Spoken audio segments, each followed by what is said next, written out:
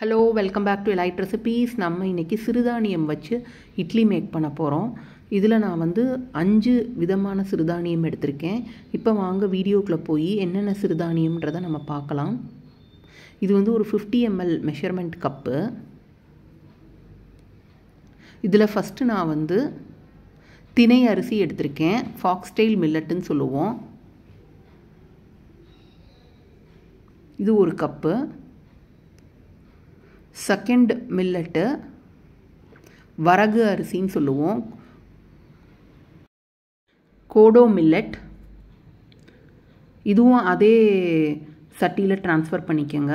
Next third millet குதிரைவாளி அரிசி பான்யாடுன்னு சொல்லுவோம். இதுவும் ஒரு கப்பு அதையும் அதே வெசலுக்கு ட்ரான்ஸ்ஃபர் பண்ணிக்கோங்க.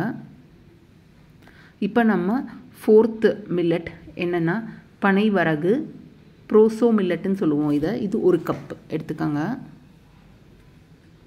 லாஸ்ட்டாக எடுக்க போகிற மில்லட்டு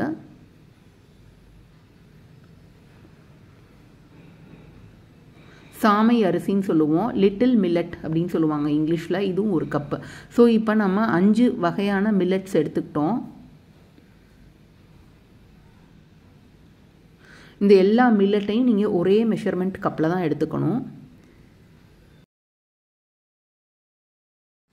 இது எல்லாமே இப்போ நல்லா சுத்தமாக இருக்கான்னு பார்த்துக்கோங்க கல் டஸ்ட் எதுவும் இல்லாமல் இருக்கான்னு பார்த்துக்கோங்க இப்போ பாருங்கள் எல்லாம் நான் சுத்தமாக வச்சுருக்கேன் மில்லட்ஸ் எல்லாம்.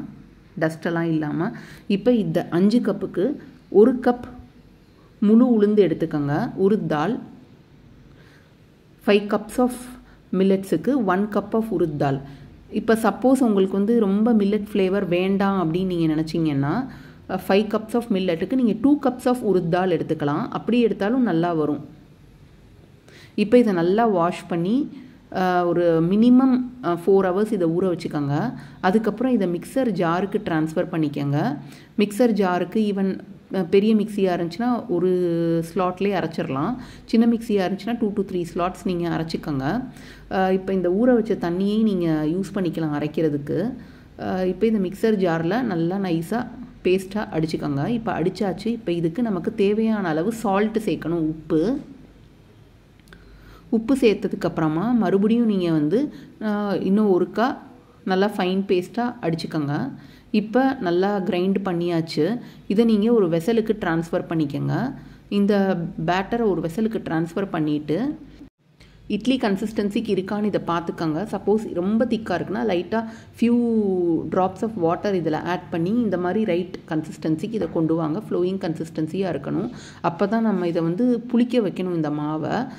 ஆஸ் யூஷுவல் இட்லி மாவுக்கெலாம் எப்படி ஃபர்மெண்டேஷன் பண்ணுறோமோ அதே மாதிரி இதுவும் ஃபர்மெண்டேஷன் ஓவர் நைட் பண்ணணும். இப்போ பாருங்கள் இந்த மாவு நல்லா புளிச்சு வந்துருச்சு ஃபர்மெண்ட் ஆயிடுச்சு இப்போ ஆஸ் யூஷுவல் நம்ம வந்து இதை ஸ்டீம் குக் பண்ண வேண்டியதான் நார்மல் ஒயிட் இட்லி மேக் பண்ணுற மாதிரியே கீழே தண்ணி வச்சு மேலே இட்லி தட்டு வச்சு சில பேர் துணி போட்டு வைக்கிறாங்க. சில பேர் துணி போடாமல் எண்ணெயை தடவிட்டு இட்லி ஊற்றுறாங்க ஸோ உங்களோட ப்ரிப்பரேஷனுக்கு எப்படி பண்ணணுமோ பண்ணிவிட்டு இது வந்து இப்போது ஒரு டென் மினிட்ஸ் குக் ஆகும் இந்த இட்லி.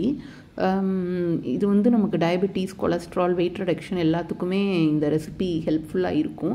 இது டேஸ்ட்லெஸ்ஸாக தான் இருக்கும் இந்த ரெசிபி பட் ஹெல்தி மில்லட்ஸ் வந்து மில்லட்ஸில் எந்த டேஸ்ட்டுமே இருக்காது.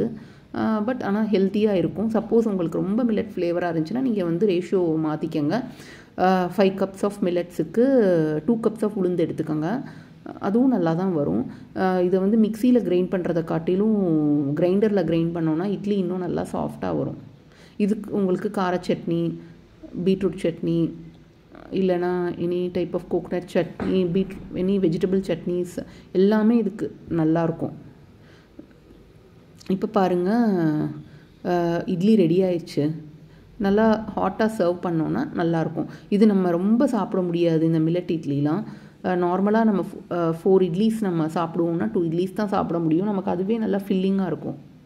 நீங்களும் ட்ரை பண்ணி பாருங்கள் லைக் பண்ணுங்கள் சப்ஸ்கிரைப் பண்ணுங்கள் கமெண்ட் பண்ணுங்கள் ஷேர் பண்ணுங்கள் வீடியோவை ஹோப் இந்த வீடியோ என்ஜாய் பண்ணியிருப்பீங்கன்னு நினைக்கிறேன்.